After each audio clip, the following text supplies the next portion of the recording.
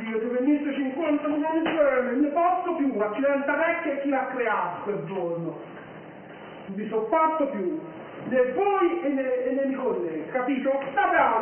Era l'aprile 2018 quando le telecamere nascoste installate dai carabinieri immortalarono queste immagini shock, maltrattamenti di ogni genere, offese e schiaffi, l'inferno vissuto dagli ospiti della casa di riposo degli orrori, quella di strada in Casentino.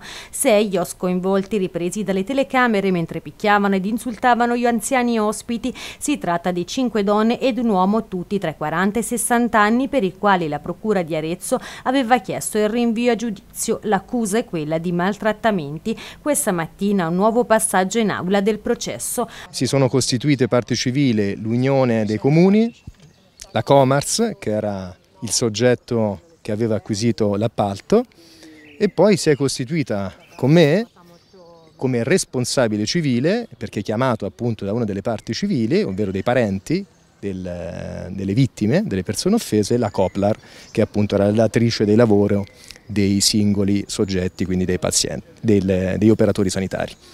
E eh, ci sono state delle eccezioni per l'esclusione di queste due parti civili, ovvero per l'Unione dei Comuni e per la Comars, e quindi sul punto il giudice si è riservato all'udienza e scioglierà la riserva all'udienza del 16 luglio. Ci si può costituire parte civile per il danno che è diretta conseguenza del reato, qui si parla del reato di maltrattamenti e invece vengono fuori delle situazioni contrattuali di gestione della casa di cura, di eh, comuni, di contratti di appalto e subappalto che eh, c'entrano poco col danno eh, del reato per cui si parla. La prossima udienza è stata fissata per il 16 luglio. In quella data tre degli indagati potrebbero chiedere il rito abbreviato, mentre altri tre il patteggiamento. Eh, sicuramente sono afflitte, eh, si sentono in colpa e come più volte hanno detto si scusano per quello che è successo.